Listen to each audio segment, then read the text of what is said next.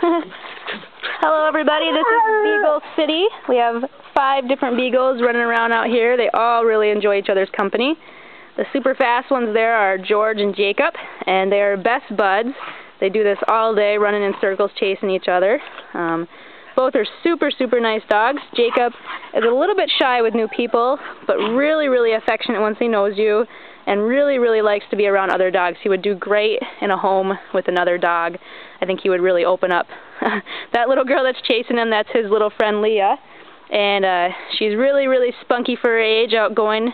She really likes to play with the other dogs as well. And um, she's a little bit shy also meeting new people and is uh, still learning how to walk on her leash. Um, I think these were pen dogs, um, but she's a fast learner and enjoying her time here at the shelter, playing with the other dogs and going for all of her walks and getting all of her attention. And the big white one back there, that is uh, Curious George.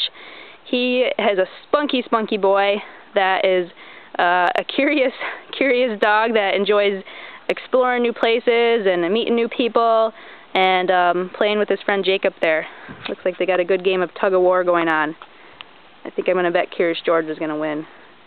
Um, so these are all really, really great dogs with uh, different types of personalities. They're all beagles, but they each have their own individual personality, and um, I think that, that we probably have one here for you that might be a good match for your family. Who else do we have here?